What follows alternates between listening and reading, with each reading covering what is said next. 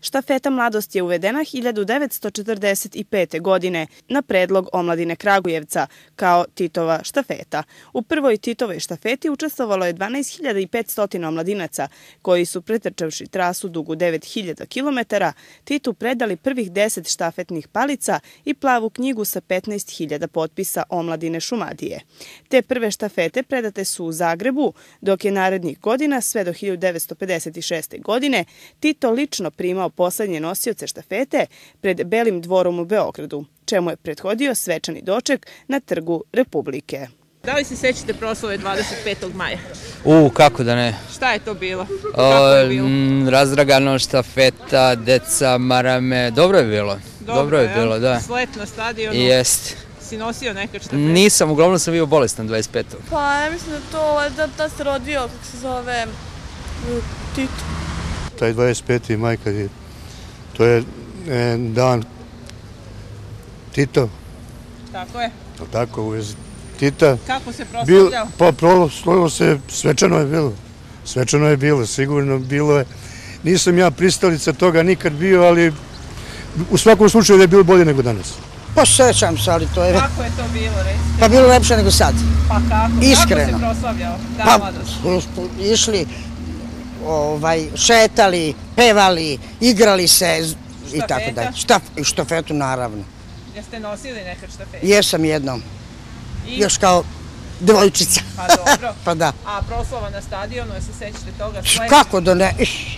Nisam tu nešto bio aktivan, ovaj, ali bilo je veoma ovaj, svečano i proslavljalo se veoma svečano uz puno manifestacija i štafeta? Štafeta, da, od bandere do bandere su stajali omladinci, nosili štafete.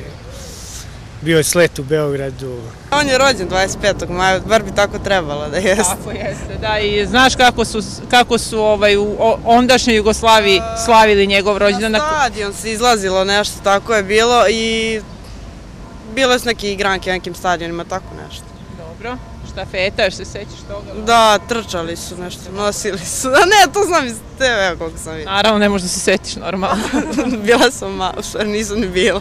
Jako lepo se slavio. U naše vreme su bili sletovi na lokalnim nivoima, a centralna proslava je bila na stadionu Partizana, gde se uvek vručila štafeta predsjedniku države Josip Broz Tito. Dobar dan, može jedno pitanje? Kratko. Ne, nemoj molim. Ja vam nisam pravi za to, ja sam uvek bila protiv tih fetišističkih ovaj, okay. doživljaja, ali bili su sletovi u čast dana mladosti, a povodom rođendana Titovog i tako. To se bilo ovaj, previše napumpano i previše onako histerično od, od mhm. oduševljenja koje je išlo do histerije. Ne znam, osvrt na to vreme bili smo, šta je znam, bili smo mladi, bili smo u tom vremenu, s ove distance sad koliko je to bilo dobro ili nije, nisam ja mera da, da odlučujem, ali svi smo učestvovali u tome. U Titovu čast. To je bilo, nosili štafetu, pa su imali marame, devojčice, pa kapice, pa onda bilo pešta. Sećam se, ja sam u tim godinama živjela lepo.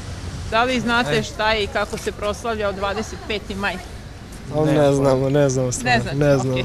Da li znaš šta je 25. maj, šta se slavilo proteklih tamo decenija nekih i tako? Naravno da znam, kraj mature, to jest kraj godine. Bravo. A e, proslava 25. maja kao dana mladosti u Titovo vreme, znaš nešto o tome? Pričala mi je mama, ali ne znam baš da kažem najbolje o tome. Baš, hvala. Uglavnom mi proslavljamo kraj godine. Sad 25. maj, dan mladosti, se ponegde i danas obeležava.